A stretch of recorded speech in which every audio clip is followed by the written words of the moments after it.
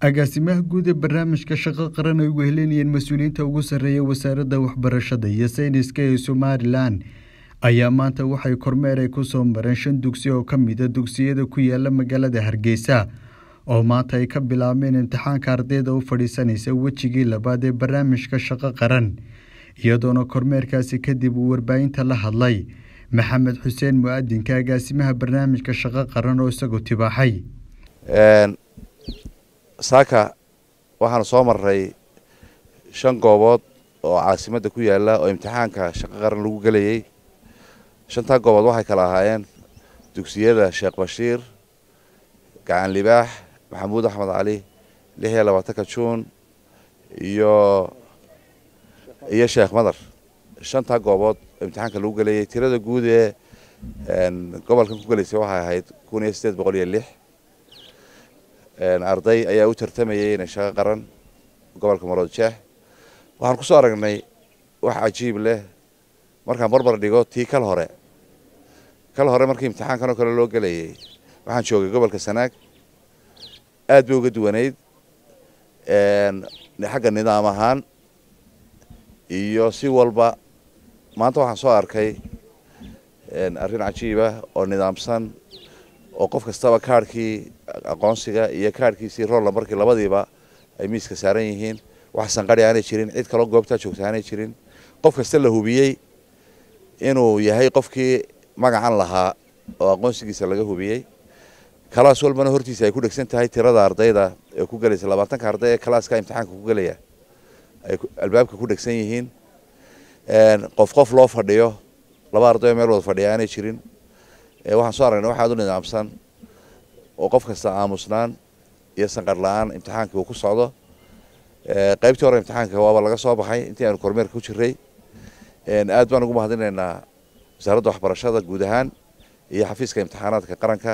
Siday u habeeyeen nidaamsan imtixaankaas ay ugu talagaleen kormeerka iyo ilaaliyayaasha iyo dejinta imtixaanka iyo kaadh samaynaya nidaam oo dhan oo wax aad loogu mahadiyo.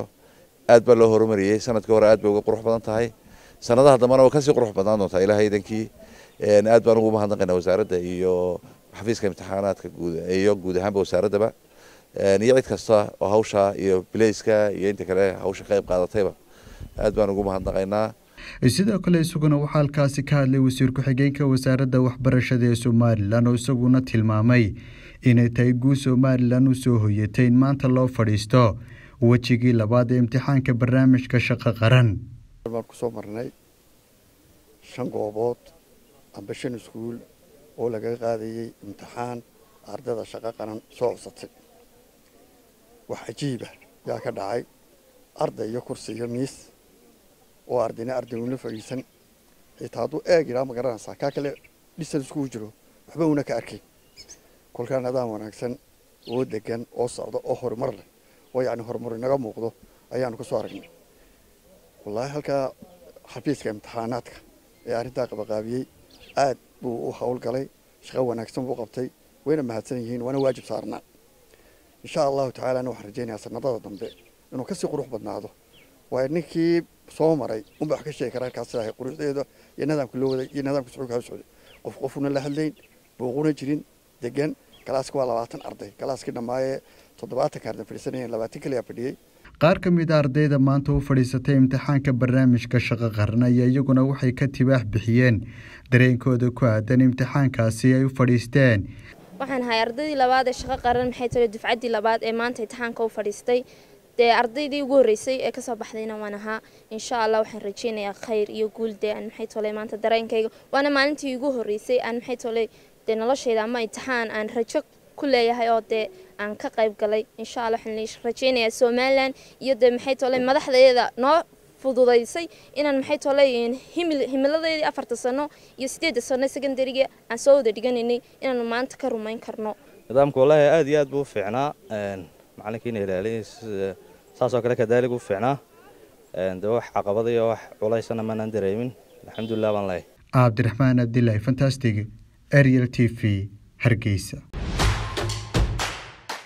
Adeega cusub ee shirkadda dahabshiil iyo ii dahab.